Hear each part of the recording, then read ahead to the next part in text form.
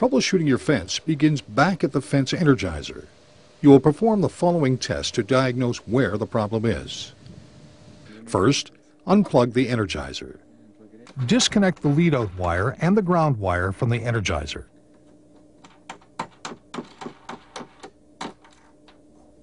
Turn the fence energizer on and read the voltage on your charger.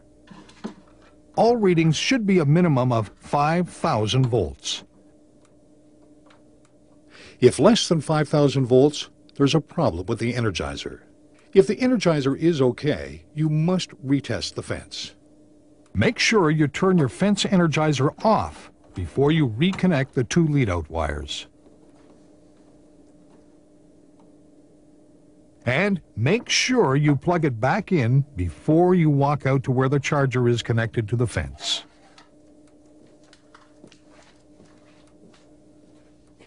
Walk back out to where the energizer is connected to the fence. And using the voltmeter, test the fence. The ground pin on the voltmeter should be connected to the second from the top grounded line. The hook on the voltmeter goes on the electrified fence line.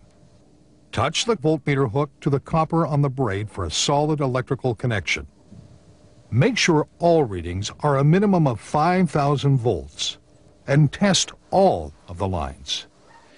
Any reading less than 5,000 volts means there's a problem with the lead-out wire or you have crossed wires during installation.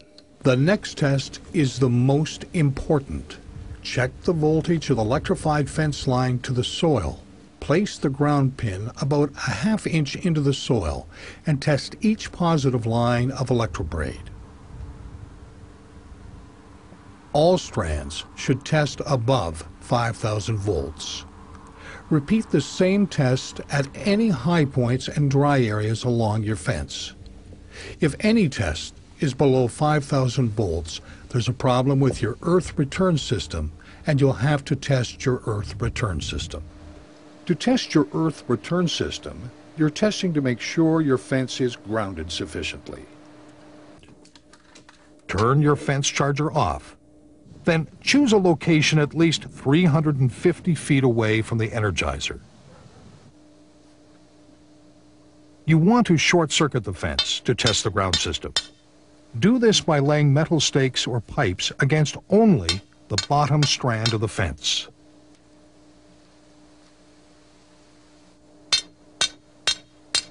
Then, go back to the Energizer and turn it back on. If you have a digital voltmeter, apply the ground pin to a screwdriver placed in the ground at least 3 feet from the ground rod. Apply the voltmeter to the ground rod. The reading on the voltmeter should be 300 volts or less. If it is greater than 300 volts, you'll need more ground rods. If you have a 5-light voltmeter, you'll need to perform the following test. Before you walk back, Make sure you're wearing plastic or rubber shoes because your next step is to place one hand on a ground rod, then slowly place a finger on a blade of grass.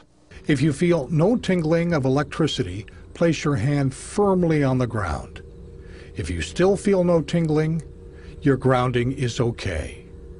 If you do get that electrical tingling feeling, add more ground rods or contact an Electrobraid customer service technician for advice on grounding your fence.